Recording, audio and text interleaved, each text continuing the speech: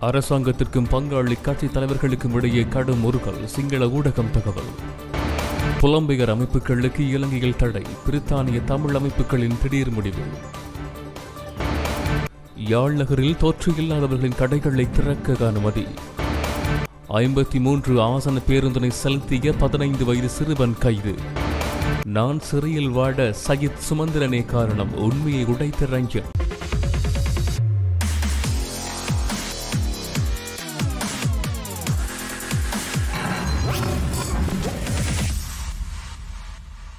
அரசாங்கத்துடன் இணைந்து செயற்படும் பனிரெண்டு அரசியல் கட்சிகளின் தலைவர்களுக்கும் அரசாங்கத்திற்கும் இடையே கடுமையான மோதல் நிலை உருவாகியுள்ளதாக தெரிவிக்கப்பட்டுள்ளது.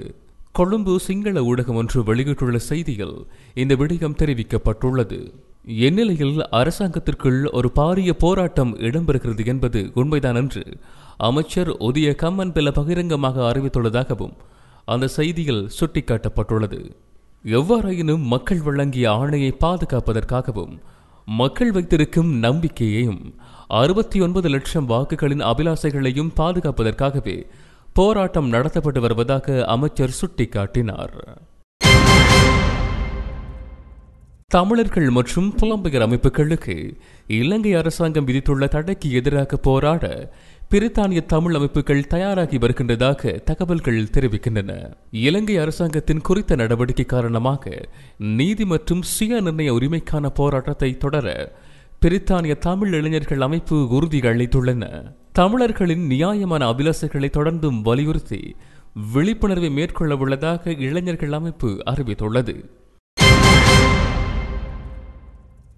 யாழ் நகர வர்த்தகர்களிடம் பெறப்பட்ட பிசிஆர் பரிசோதனைகளில் கொரோனா தொற்று உள்ளானோரின் கடைகளை தவிர்ந்த ஏனைய கடைகளை நாளை தினம் திறப்பதற்கு அனுமதிப்பதாக யாழ் மாவட்ட அரசாங்க அதிபர் கணபதி பிள்ளை மகேசன் தெரிவித்துள்ளார்.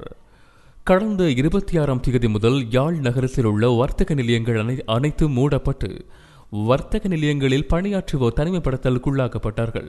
இந்நிலையில் கடந்த பதினான்கு நாட்களாக மேற்கொள்ளப்பட்ட இரண்டு பிசிஆர் பரிசோதனைகளில் தொற்று இனங்காணப்பட்டோரின் கடைகளை தவிர்ந்த ஏனைய கடைகளை நாளை காலை முதல் திறப்பதற்கு அனுமதிப்பது என தீர்மானிக்கப்பட்டுள்ளதாக மகேசன் மேலும் தெரிவித்துள்ளார்.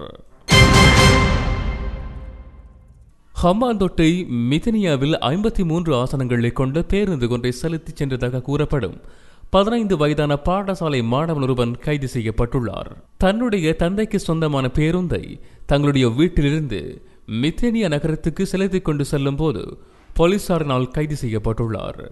இம்முறை கல்வி பொதுத்தராதர சாதாரண பரீட்சையில் தோற்றவிருக்கும் வயது குறைந்த ஒருவரை பேருந்தை செலுத்த அனுமதி கொடுத்த தந்தையை கைது செய்ய நடவடிக்கை எடுத்துள்ளனர். ஐக்கிய மக்கள் சக்தியின் நாடாளுமன்ற உறுப்பினர் ரஞ்சன் ராமநாயக்க தான் சிறையில் இருப்பதற்கான காரணம் சையத் பிரேமதாசாவும் எம் ஏ சுமந்திரனும் என்று ரஞ்சன் ராமநாயக்க தன்னிடம் தெரிவித்திருந்ததாக அமைச்சர் மகிந்தானந்த அலுத்கம தெரிவித்துள்ளார். எனினும் இந்த குற்றச்சாட்டை உடனடியாக நிராகரித்த எதிர்க்கட்சித் தலைவர் சையத் பிரேமதாச ஆளுங்கட்சி முன்வைக்கின்ற குற்றச்சாட்டுகளை ஹேண்ட்சாட்டிலிருந்து நீக்குமாறு சபாநாயகரிடம் கோரிக்கை விடுத்தார். அதேவேளை ரஞ்சன் ராமநாயக்கவுக்கு விடுமுறை அளிக்குமாறு சபாநாயகர் மகிந்த யாப்பா அபயவர்த்தனவிடம் சயித் பிரேமதாசா கோரிக்கை ஒன்றையும் முன்வைத்துள்ளார். எதிர்க்கட்சித் தலைவர் சயித் பிரேமதாசா ரஞ்சன் ராமநாயக்கவுக்கான நாடாளுமன்ற விடுமுறையை கோருவதற்கான விசேட யோசனை ஒன்றை இன்றைய தினம் நாடாளுமன்றத்தில் முன்வைத்தார். எனினும் இந்த குற்றச்சாட்டை உடனடியாக நிராகரித்த எதிர்க்கட்சித் தலைவர் சயித் பிரேமதாச ஆளுங்கட்சி முன்வைக்கின்ற குற்றச்சாட்டுகளை ஹேண்ட்சட்டிலிருந்து நீக்குமாறு சபாநாயகரிடம் கோரிக்கை விடுத்துள்ளார். ஜனாதிபதி என்பதனால் செய்த படுகொலைகளும் குற்றங்களும் மறைந்து விடாது துணிச்சல் இருந்தால் சர்வதேச குற்றவியல் விசாரணைக்கு வாருங்கள் நிரூபித்து காட்டுகிறோம் என தமிழ் தேசிய மக்கள் முன்னணியின் நாடாளுமன்ற உறுப்பினர் செல்வராஜா கையேந்திரன் தெரிவித்துள்ளார். நாடாளுமன்றில் நேற்று உரையாற்றும் போது அவர் இவ்வாறு தெரிவித்துள்ளார். இதன்போது அவர் மேலும் தெரிவிக்கையில் தமிழர்களின் பொருளாதாரத்தை அழித்து தென்னிலங்கையை சேர்ந்தவர்களின் பொருளாதாரத்தை மாத்திரம் நோக்கமாக கொண்டு செயற்படுவதை இந்த அரசு நிறுத்த வேண்டும். ஸ்ரீலங்கா அரசாங்கத்தினால் புலம்பெயர் தமிழ் அமைப்புகளுக்கு எதிராக விதிக்கப்பட்ட தடையானது அரசியல் நோக்கத்தை மாத்திரம் அடிப்படையாக கொண்டது. அரசாங்கத்தினால் தடை விதிக்கப்பட்ட அமைப்புகளோ அல்லது தனிநபர்களோ எந்த ஒரு பயங்கர செயற்பாடுகளுடன் தொடர்பு பட்டவர்கள் அல்ல. இருப்பினும் அதனை வெளிப்படுத்துங்கள் என்றும் அவர் மேலும் தெரிவித்துள்ளார். அரசாங்கத்திற்கும் பங்காளி கட்சி தலைவர்களுக்கும் இடையே கடும் முறுகல் சிங்கள ஊடகம் தகவல். புலம்பெயர் அமைப்புகளுக்கு இலங்கையில் தடை. பிரித்தானிய தமிழ் அமைப்புகளின் திடீர் முடிவு. யாழ் நகரில் தொற்று இல்லாதவர்களின் கடைகளை திறக்க அனுமதி. ஐம்பத்தி மூன்று ஆசன பேருந்தினை செலுத்திய பதினைந்து வயது சிறுவன் கைது.